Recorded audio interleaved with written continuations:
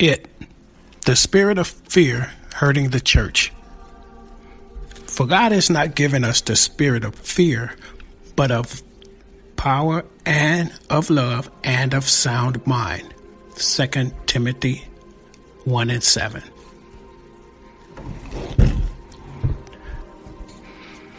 The fear of the Lord is important to the spiritual motif of every Christian.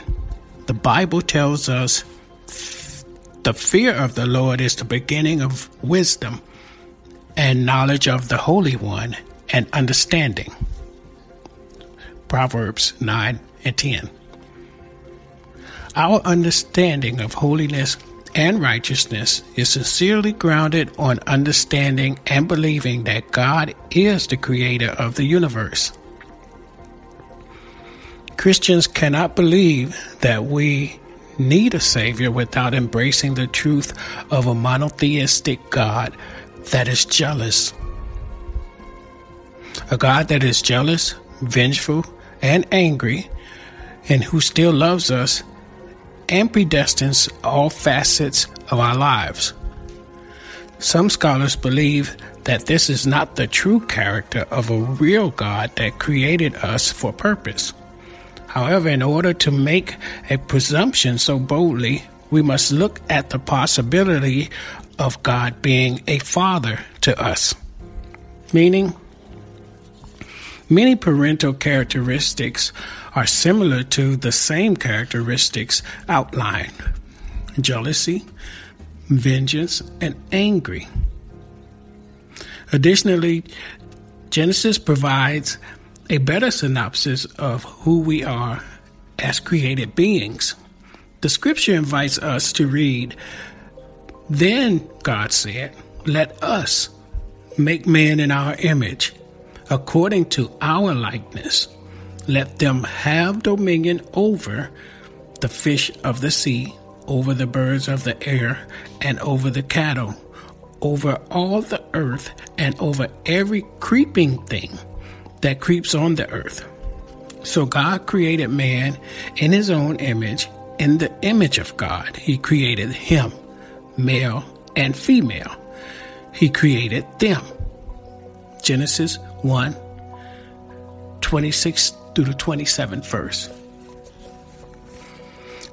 Many of the writers have painted God as a God who loves and cares, which is absolutely true. However, the image, the likeness, and the dominion of God allows him to have times of resentment, positiveness, and punishment toward his children. Therefore, once we are able to understand that God has feelings and desires to be loved and respected by his children, whom he created for the sole purpose of companionship and worship, then it would be harder to believe that our rebellion and rejection of God's predestined plan for our lives would not cause God to feel some type of way. Boa makes a great point. We are constantly in danger of letting the world instead of God define us. The Bible provides the believer in Christ with views of God's love when he was constantly delivering the Israelites from themselves. Yet, the Israelites constantly rejected God when they desired to have a king to rule over them and their worship of other gods.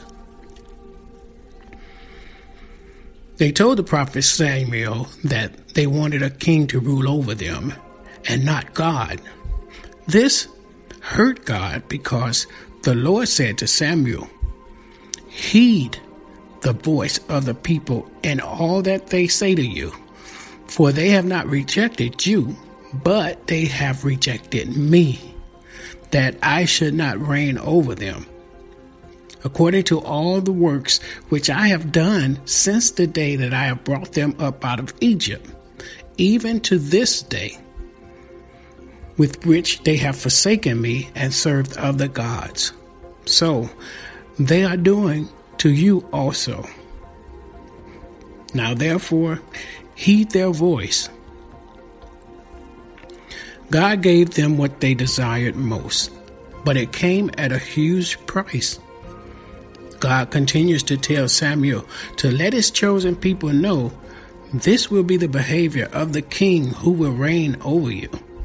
He will take your sons and appoint them for as his own chariots and to be his horsemen. And some will run before the chariots.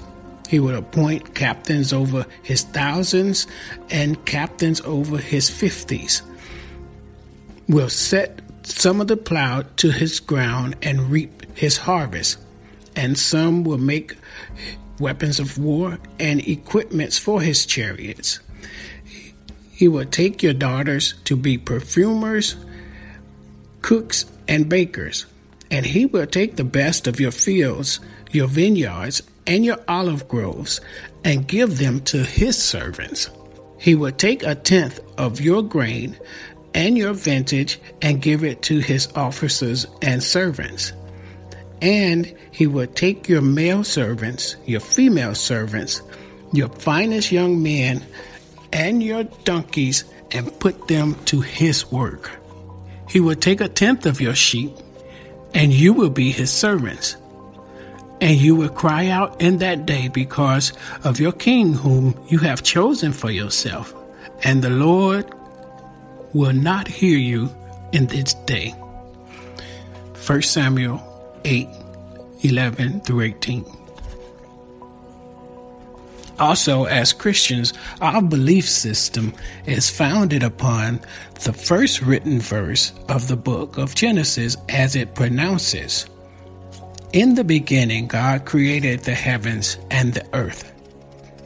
That's found in Genesis 1 and 1. The process of understanding who God is and why He created us takes a lifelong journey that includes struggles, defeats, joy, sorrow, life, death, pain, anger, forgiveness, and peace. The Bible provides us with an overarching creed that allows us to believe He is God and that we should also believe to not fear, for I am with you. Do not be dismayed, for I am your God. I will strengthen you and help you. I will uphold you with my righteous right hand. Isaiah 41 and 10. King David provided us with a prayer that helps us find faith instead of fear. He experienced so many problems that are still relevant to many of us today. You see, David was a man after God's own heart. God loved David and was with him throughout everything that he did. One of the things that David did was murder. God was very displeased with an appointed king of the chosen people disobeying one of the Ten Commandments that said, Thou shalt not kill. Yet he did. And even though he killed and committed other sins, God still heard his prayers. However, this was not because David was good or righteous. This was because David believed in God in his heart. He believed that God would never leave him, and he wanted to wholeheartedly please God as well. David's faith and trust in God was unwavering. David prayed these words when he was facing his darkest moment. He says, Yea, though I walk through the valley of the shadow of death, I will fear no evil, for you are with me. Your rod and your staff, they comfort me. Psalms 23, 4th verse. Fear strangles our ability to trust God like David did, especially when we know that we have sins that were willingly committed and sins we thought about doing or feelings of sins that we held in our hearts. We must remember that God sees the heart, and it is the heart that God judges. God still loves us, but our relationship with Him must be succinct with prayer and worship to ensure that in those moments of rebellion, God's love and mercy will keep us from completely running away from Him. Just as Adam gave God's an excuse, the woman you gave to me, she gave me of the tree and I ate. We must not allow fear and shame to keep us accountable to God enough to fight for our relationship and closeness to Him. The spirit of fear tells us that we are not worthy of God's love or forgiveness. The spirit of fear also plants doubt and mistrust of others. This opens the doorway to demonic influences that continue to feed our hearts and minds by escalating insecure thoughts and imaginations against others in our concentric circles. And as a result, we begin to speak negatively over their lives and project our fears onto others by failing to exercise our faith to others or praying for them and telling our testimony of triumph and blessings. The spirit of fear stifles our willingness to share Jesus and the blessings that has happened. Ultimately, this fear tries to justify itself by saying that we were born this way or I get these feelings and characteristics from my parent. When there should be a transformation and renewal of our hearts and minds to be willing to cast aside the fear and love, look to the Holy Spirit to lead us informatively enough and show us that we believe and know God is with us wherever we go. In the Bible, the Amplified Version shows how Apostle Paul had feared as he began to preach to the church of Corinth. He said, and when I came to you, brothers and sisters, proclaiming to you the testimony of God concerning salvation through Christ, I did not come with superiority of speech or of wisdom, no lofty words or eloquent or a philosophy as a Greek orator might do. For I made the decision to know nothing that is, to forego philosophical or theological discussions regarding inconsequential things and opinions, while among you accept Jesus Christ and in him crucified, and the meaning of his redemptive death and his resurrection. I came to you in a state of weakness and fear and great trembling, and my message and my preaching were not in persuasive words of wisdom using clever rhetoric, but they were delivered in demonstration of the Holy Spirit operating through me and of His power, stirring the minds of the listeners and persuading them so that your faith would not rest on the wisdom and rhetoric of men, but on the power of God. 1 Corinthians, second chapter, first and the fifth verse. First, in order to understand that we are created to worship and praise our creator of life, we must understand that he is a multifaceted God that requires that we must bow before him in reverence and humility whenever we seek his guidance and mercy for our lives. This reverence is not because of what questions God would answer. Our reverence to Him must be because He is transcendent and intrinsic. Paul understood this because he acknowledged the fact that he was afraid to speak on behalf of the Lord to a nation of people who had an established religious system in place and many of them were intelligent and very knowledgeable about their religious belief.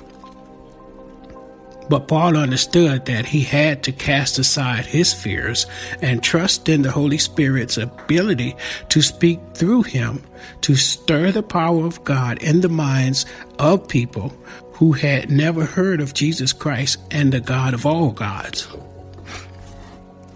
It is important to not wear the spirit of fear as believers in Christ because it does not reveal the confidence in knowing and believing that Jesus promised us that we will have a comforter and a teacher to help us. His promise that the Holy Spirit will be teaching them to observe everything that I have commanded you. And lo, I am with you always, remaining with you in perpetuity, regardless of the circumstance and on every occasion, uh, even to the ends of the age. A.W. Tozer helps explain the overall spiritual change from fear to faith in Paul as he began to speak to the churches of Corinth. Tozer tells us we must seek the anointing of the Holy Spirit and the power of the Holy Spirit's relationship to the Son and the Son's love of the Father to lead us into all truth.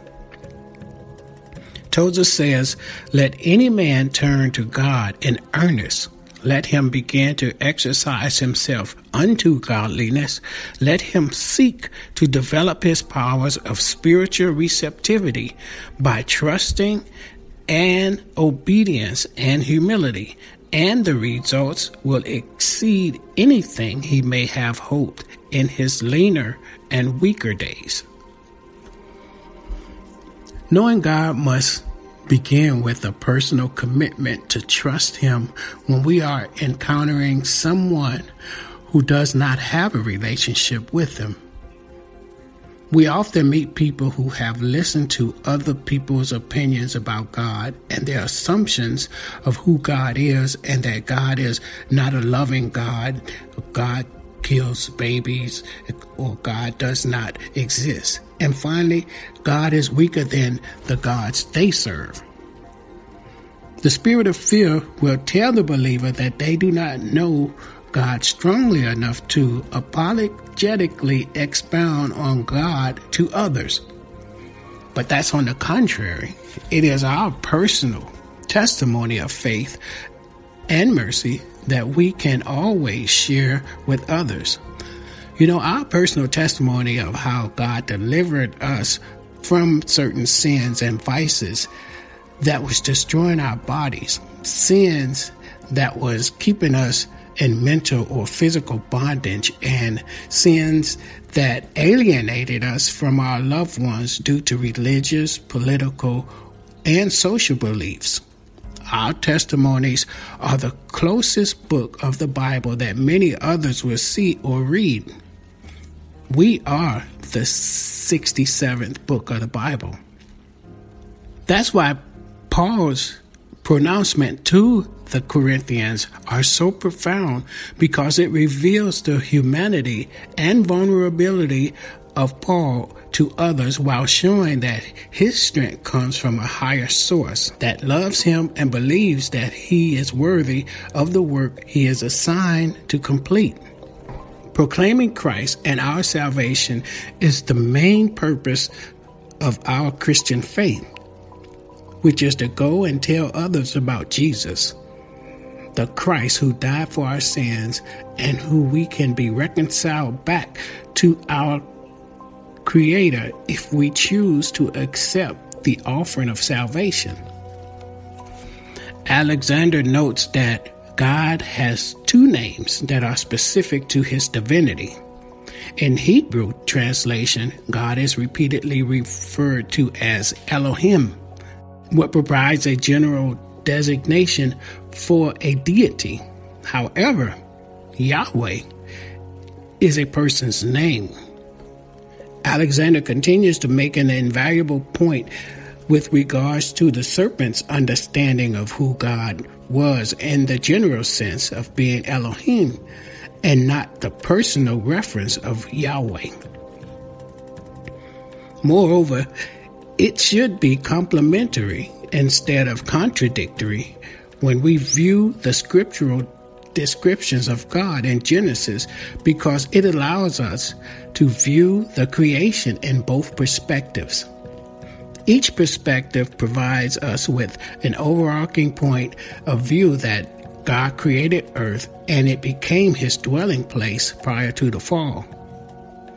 Consequently, the fall instigated emotions in all mankind from this pivotal point forward that were not present when man and woman were created. The Bible tells us that Adam and Eve became ashamed and they concealed themselves from God. Genesis, the third chapter, 7 through the 8th verse, illustrates how Adam and Eve's eyes became open due to their disobedience, which caused new revelation of what they perceived as incomplete work by God. It tells us that Adam and his wife hid themselves from the presence of the Lord among the trees of the garden. But God does not want anyone to be lost because of an inherited rebellious nature. This is why he sent Jesus to be the reconciliation of sin and the redeemer of sinfulness by dying at Calvary. The spirit of fear allows us to place more emphasis on the patterns of sin in a person instead of emphasizing love and service to those that are struggling and hurting from their sins. Resisting sin is not the primary focus of the Christian because sometimes we can struggle with destructive behavior our entire Christian lives. Yet, the struggle does not have to define our relationship with Christ.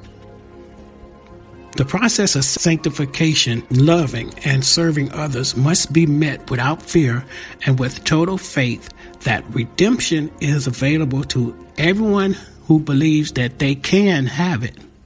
But the cowardly, unbelieving, abominable, murderers, sexually immorality, sorcerers, idolaters, and all liars shall have their part in the lake which burns with fire and brimstone, which is the second death. That's found in Revelation, the 21st chapter, 8th verse. Revelation 21 8 tells us that there are consequences to fear that allows us to continue in indecisive worship and reverence to God. We must not allow the bondage of fear to justify our willingness to incorporate sinful thoughts, acts, or deeds to filter into our lives while we profess our faith and belief in God. God's reaction to sin was written for the Jewish and Hellenistic communities that were learned and able to read ancient texts from the Old Testament religious leaders. Many leaders and teachers who have written books in the Bible did not have the privilege of following a written account of God's ways and how he dealt with sin. Our accountability is greater because the Bible has been given to us as a moral, ethical, and spiritual guide. Therefore, our conduct as believers has the capacity to exhibit holiness, godliness, and commitment. However, by the time Jesus was born, only Jewish leaders and a few Gentiles had access to the scriptures other believers access the knowledge of God and the redemptive actions from verbal pass downs and eyewitness accounts. You know, this is important to understand just how important it is for everyone who believes that Jesus Christ is Lord to not be afraid to witness and tell their testimony to everyone who would listen because it helps us embrace a mandate that Jesus presented to his disciples on two occasions. The first occasion was when he was resurrected and was at the tomb, and Mary Magdalene thought that he was a gardener at the tomb until she heard Jesus call her name. Jesus said, Mary? She turned to him, Rabboni, which is to say, teacher. Jesus said to her, Do not cling to me, for I have not yet ascended to my Father, but go to my brethren and say to them, I am ascended to my Father and your Father, and to my God and your God. Mary Magdalene went and told the disciples that she had seen the Lord and that he had spoken these things to her. This was the first account after Jesus was resurrected from the grave. His mandate to Mary Magdalene should not be easily overlooked when we are studying the resurrection. Not only does it cauterize the wounds of women being justified by grace through faith, it begins the process of evangelism and discipleship. When we read the early biblical accounts of Eve's fall from God by suggesting to Adam to eat from the forbidden tree, Eve's actions started the process of sin. Now, we see many women generations later. Christ uses a woman to spread the news of atonement of man's sins and the redemption of his father's creation. Kostenberger made a, a great point to tell us that Mary Magdalene was one of Jesus' most committed female followers. Additionally, at the moment, Mary went to tell the disciples that Jesus had risen, the law of sin no longer held mankind under the conviction of Adam and Eve, for a way of reconciliation was established. And what some believe how sin was introduced into the world by a woman, others make supposition that the good news of salvation in this moment was spoken by a woman. The good news of Christ's resurrection is considered the gospel because it is the sharing of the gospel, good news, and it is what allows others who are sinful or without a Savior to know that there is eternal life and they have a renewed path toward holiness and a closer connection to God if they believe that Jesus died and rose from the dead. A.W. Tozer captures the physical and spiritual character of man in the frame of time from Jesus' commission of Mary telling the disciple of his resurrected holiness to the time that he ascended to heaven to sit at the right hand of his Father. Tozer states, The natural man is blind to holiness. He may fear God's power and admire his wisdom, but his holiness he cannot even imagine. The world needs reconciliation back to holiness. God's holiness is not simply the best we know, infinitely better. God's holiness is unique and unapproachable. That is why Jesus' resurrection is necessary. He is the advocate and atonement for every act of disobedience and rebellion that men and women committed on earth. That is why Mary's role as messenger of grace and mercy should be looked upon significantly. More importantly, it reveals that the first commission started with Mary, a true follower of Jesus in life and resurrection Jesus gave her the first commission to go to my brethren and say to them, I am ascended to my Father and your Father, and my God and your God. Imagine how Mary may have felt to witness rejuvenation and resurrection of the Christ, whom she witnessed three days ago dying on a cross in a shameful and detestable manner between two thieves, beaten, spat on, and whipped to unbearable pain, suffering, and anguish throughout his entire body. Yet, her faith was restored because she had a renewed encounter with Jesus. the excitement that she must have had to, to know that she was no longer alone and the anointed one had risen just like he told them. Her faith was overflowing as she immediately obeyed the words of Jesus. Mary Magdalene came and told the disciples that she had seen the Lord and that he had spoken these things to her. Many of us can agree that hearing Jesus' voice when feeling that all hope is lost and when disbelief grows and the sense of being totally defeated by the actions of sin is such a sweet sound that it is indescribable, empowering, and hopeful. Just when she believed that all hope was lost, there was Christ calling her name and appearing to her when she was at her darkest, broken, and most fearful moment. Jesus called to her by name, Mary. Fear was erased, anger was eliminated, and hope was restored. A scripture comes to mind that puts in perspective if one should put themselves in Mary's position, a relative passage found in Psalm 34th chapter 19 through the 21st verse. And it says, Many are the afflictions of the righteous, but the Lord delivereth him from them all. He kept all his bones, not one of them was broken. Evil shall slay the wicked, and they that hate the righteous shall be desolate.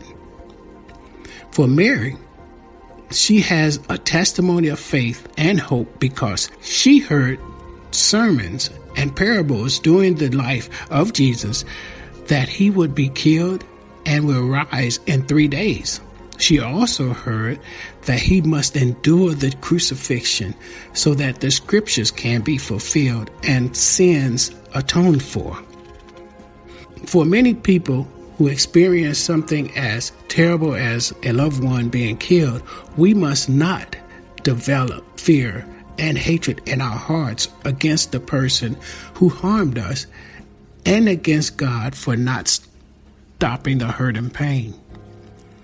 Fear will only see anger, and anger only reveals sin in the hearts of a person who allow fear to rule their hearts that person is just the right person that demonic influences wants to inhabit and hopes to get them to stop trusting and believing that Jesus is there, knocking on their hearts to comfort and heal them. Jesus told us that he will be with us and we will not be alone but have faith in God. He sent us a teacher and comforter to help us and teach us to hear the voice of holiness. However, many cannot hear the voice of Jesus calling out to help them because they are hurting and so angry that they begin to unknowingly practice witchcraft against others by speaking negatively or casting spells of anger, hatred, and destruction into their lives. Demonic influences are the instigator of fear and shame. But as a believer in Christ, Jesus revealed that he is the atonement and the life over all demonic thinking and influences of fear and anger. When we truly believe and trust that God is able to do anything and everything that we petition Him for, then we should be able to resist temptation of immediate satisfaction and indulgences that sway the soul and body away from walking in obedience and holiness to God. Remember, God's purpose for mankind is to worship and adore Him, but we are constantly intertwined in rebellion and sinful attachments that we constantly need to stay connected to God through Christ. The words that we speak out of our mouths can bring life or death.